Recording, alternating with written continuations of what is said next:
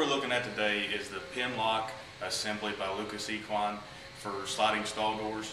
Uh, it comes in a variety of finishes. The one we're looking at here is brass. Uh, we have these available in stainless steel and zinc along with the brass. Simple function is a it's a positive lock, one-handed operation. Stick the pin in the receiver, uh, what we call a pin sheath. Uh, the door butts up against it and cannot be moved by your horse into the open position. You simply take it out, put it in the provided pin receptacle, and then you can open your stall door. A few reasons you may want to consider the pin lock as a latch for you. One reason being in the lock position, our pin sits at a 30 degree angle. You can get back in your row of stalls and see that each stall is individually locked or unlocked.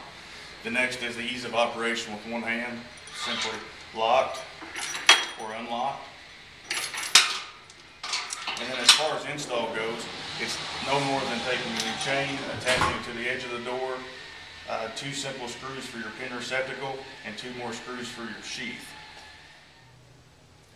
The pin latch assembly is virtually maintenance free and one of the safest latches on the market. In the open position, we slide our door open, and you have a clear opening with no protrusions to lead your animal in and out of the stall. As far as durability goes, there is no moving parts to wear out on the pin in the unlocked or locked position. Feel free to call us for any details or further questions you may have on the latch.